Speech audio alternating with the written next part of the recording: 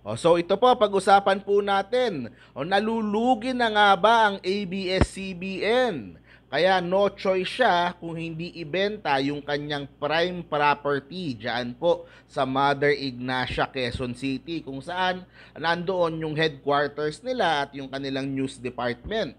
Okay? So at ang posible pong bumili yung kanilang sister company, pagmamayari din ng mga Lopez, yung Rockwell Land. So posible ibenta yung lupa tapos magiging Rockwell doon. Baka magtayo ng mga condominium tsaka ng uh, commercial center doon po kung nasaan yung ABS-CBN ngayon. Okay, so uh, nag-report uh, po yung ABS-CBN sa Philippine Stock Exchange ngayong araw that it was in discussions with real estate developers even before the pandemic for the redevelopment ng 3.4 hectare property sa Mother Ignacia. O hindi po inelaborate ng ABS-CBN saan siya magre-relocate, o pero meron kasi siyang building doon yung pong uh, ah, ELJ Center. Pinapaupahan din nila yon So, posibleng doon nila ilipat yung pong news para kasi kailangan sa Metro Manila pa rin yung news eh. Meron silang malaking property sa Bulacan, yung mga iba, yung kanilang entertainment, ay pwede pong ilipat at yung mga studio doon po sa Bulacan kung saan plano nila maglawa ng mga soundstage, doon sila magte-taping, magsushooting, So baka ihiwalay na po nila ng ganun. Ah, habang nagbabago ng business model itong Kapamilya Network. Ayun.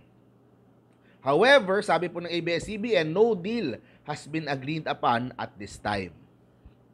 Eh, wala pa daw deal. Ganun din po yung sabi ng Rockwell. Nakausap nila yung ABS-CBN and uh, tinitingnan po nila uh, yung possibility nga po na gawing Rockwell yung buong area na yun. Kasi very prime property po talaga yung malapit sa EDSA, malapit sa MRT. Ayun. So, uh, ang kautangan ng ABS-CBN total the 15.6 billion as of 2021. So baka mas lumaki pa yon kasi uh, nalugi sila ng mga huling taon eh. ABS-CBN has yet to report earnings for the entire 2022. As of the first 9 months of last year, the media company reported losses of 1.8 billion.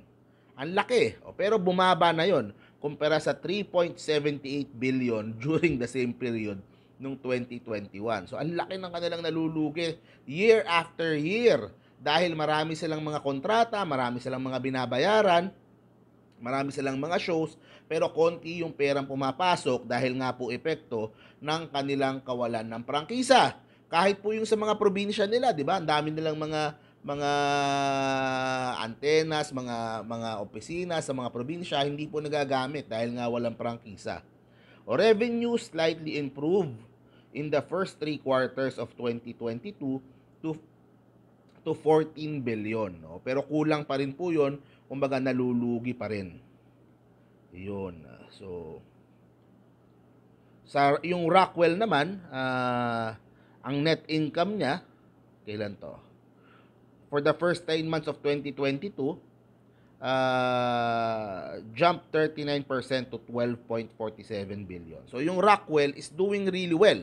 Uh, ang dami nilang mga bagong properties, meron sa Pampanga, tapos meron sa mga eh, mga sa mga iba't ibang lugar eh nag nagtodo sa C5. Uh, malaki din yung mga ginagawa ng Rockwell doon.